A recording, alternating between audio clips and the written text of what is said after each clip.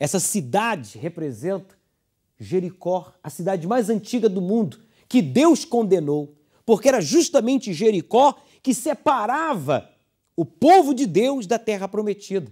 Jericó estava justamente na entrada da terra prometida. E Deus deixou claro para Josué, para os sete sacerdotes e para os homens armados, que aquela cidade, humanamente falando, impossível de ser superada, impossível as muralhas de Jericó de serem elas derrubadas, tinha que cair, tinha que ser reduzida a cinzas, tinha que ficar ao chão, porque o seu povo teria que subir e possuir a terra prometida. E Jericó ficava justamente na entrada da terra prometida. Era o maior obstáculo.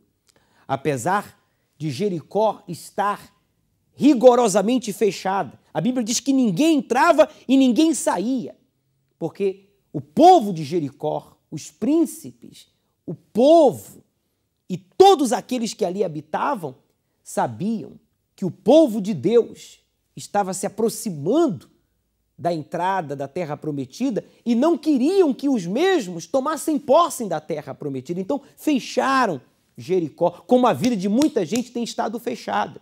Talvez você diga, Júlio, a minha vida tem estado fechada no âmbito espiritual. Eu não tenho tido ânimo para orar, para jejuar, para sacrificar, para ir à igreja, para ler a Bíblia, para buscar a Deus. Talvez você tenha a sua vida física fechada no sentido não há saúde, não há vigor, não há forças em você para estudar, para trabalhar. Talvez você tenha a sua vida sentimental fechada, não há amor, não há carinho, não há realização sentimental, não há prazer em estar com a sua esposa ou com o seu esposo. Isso se você está casado, porque tem aqueles que nem casados estão e a sua idade já está a avançar, mas a sua vida sentimental está literalmente travada, fechada, rigorosamente fechada. Talvez seja a sua vida familiar que esteja fechada. Não há comunicação, não há prazer em estar juntos.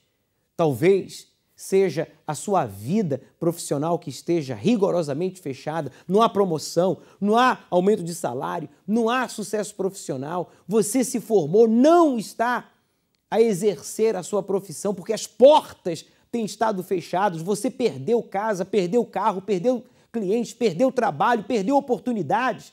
Você diz, Júlia, minha vida tem estado rigorosamente fechada. Nada de bom entra e nada de ruim sai. Bem, só há uma forma, só há uma maneira da gente vencer Jericó. Só há uma forma de você e eu superarmos Jericó. Como? Sacrificando para Deus. O medo faz com que você, infelizmente, alimente dentro de si dúvidas, sentimentos de insegurança. Então, o medo faz você ficar paralisado.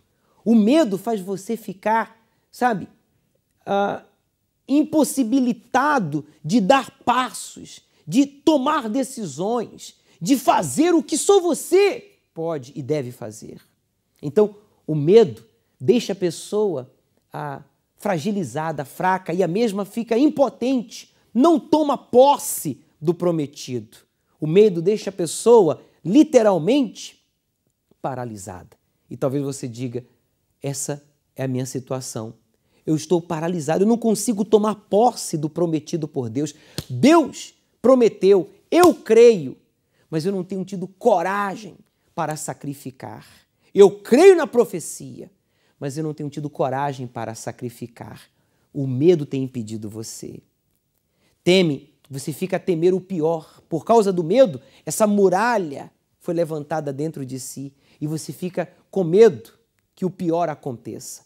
Acidentes podem acontecer, sofrer um assalto, ser vítima de bruxedo, de praga, de inveja, de maldição, perder a saúde, o casamento ser destruído, os filhos se perderem, perder bens, perder o pouco ou muito que você levou anos para para juntar, para guardar. O medo impede você de vencer Jericó. Por quê? Porque o medo é uma muralha dentro de si. É uma muralha que Deus, eu, ninguém pode derrubar por você. E por que não? Porque foi você que levantou esta muralha. Se eu tenho medo dentro de mim, Se há medo em mim, foi eu que levantei esta muralha. E o mal está a se aproveitar dela para que eu não venha a superar Jericó. Jericó só é vencida, só é derrubada, Jericó só é ultrapassada quando você e eu vencemos aqui dentro de nós a muralha do medo.